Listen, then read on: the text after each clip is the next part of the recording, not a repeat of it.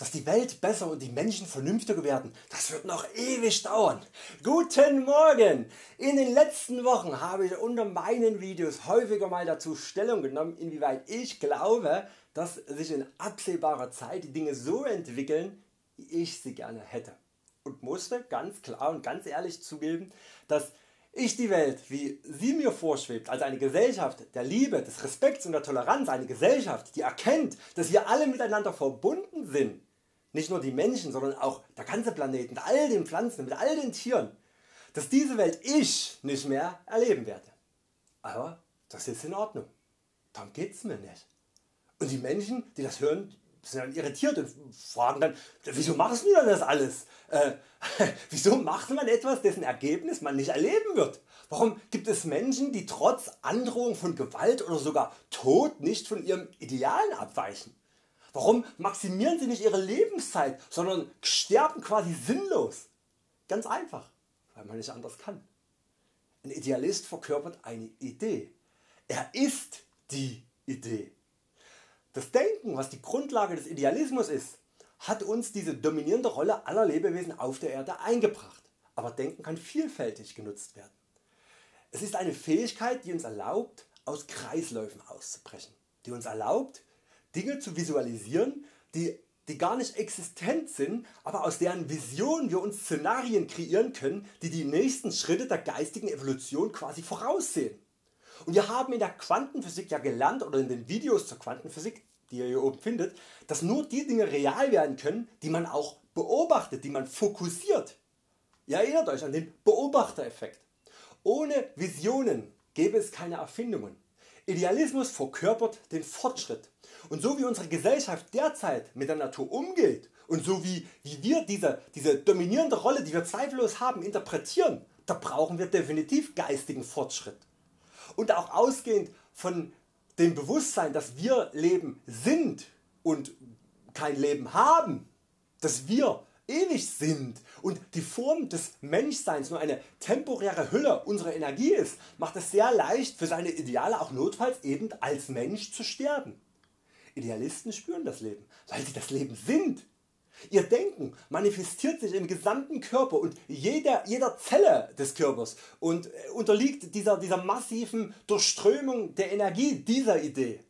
Er spürt Leben und ein Leben als Idealist zu führen ist gemessen an der, an der wahrgenommenen Echtheit des Lebens. Eine qualitative Steigerung zu jedem anderen Leben was ich persönlich erfahren durfte. Carl Sandburg, ein amerikanischer Dichter und Denker meinte einmal, der Idealist der weiß nicht wohin er geht, ist aber unterwegs.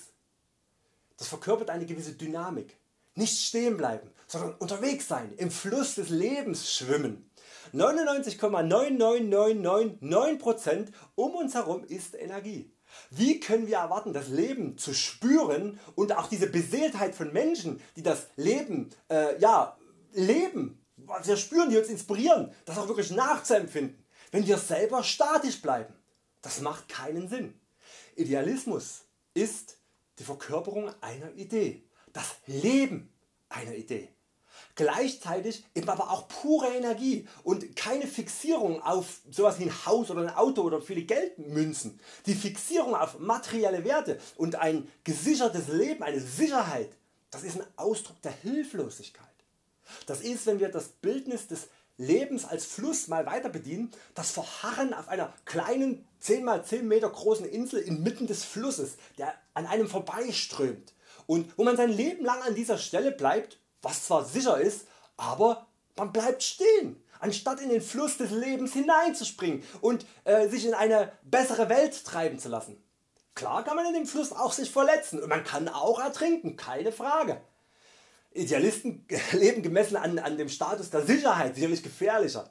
Aber diese Gefahr ist Illusion, weil die Tatsache, dass wir denken, dass wir ein Leben haben, was wir verlieren könnten, Illusion ist. Wir haben kein Leben, wir sind Leben. Und es ist tragisch, dass so viele Menschen diese Erkenntnis nicht gemacht haben, sich verweigern und auf ihren starren Denkmustern verharren. Das ist wirklich absolut nachzuvollziehen. Aber es ist so schade, es ist so schade.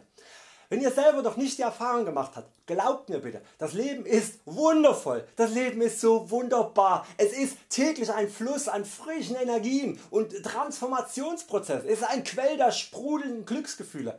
Ihr müsst es aber auch annehmen und mutig genug sein hineinzuspringen euch von verkrusteten, antrainierten Denk- und Lebensweisen zu lösen und in den Fluss des Lebens springen. Lasst euch treiben und spürt das Leben. Ich kenne beide Seiten. Ich war reich und erfolgreich und nun bin ich karrieretechnisch tot. Ich habe äh, ja, kein Geld, auch wenn ich Geld nicht per se als schlimm ansehe, äh, ich habe keinen nennenswerten Besitz und auch die Gesellschaft die mich umgibt übt permanent äh, Druck über die gesellschaftspolitischen Instrumentarien auf mich aus. Aber ich stehe jeden Tag mit einem idealistischen Lächeln auf, liebe alle Menschen und die Tage und die Tage sind so lang wie zu Kinderzeiten. Ich bin bewusst geworden und der, und der Idealismus das ist ein Teil dessen. Es ist egal ob ich ja, die Fortschritte die ich mitinitiiere erlebe. Ich nehme das Leben an was ich bin und nicht was ich habe. Ich bin mir meine Kritik bezüglich der derzeitigen Gesellschaft im Klaren und, und, und tue einfach was ich kann. Aber warum sollte ich mich davon abhalten lassen zu leben, nur weil ich das was ich gerne erreichen würde nicht erreichen kann. Ich bin das Leben, ich bin Energie, ich bin ein Teil dessen, ich bin die Idee, ich bin Idealist. Seid Idealisten bis zu eurem Tod, Idealisten die eine Idee verkörpern, dann, dann habt ihr gelebt. Euer Christian. Tschüss.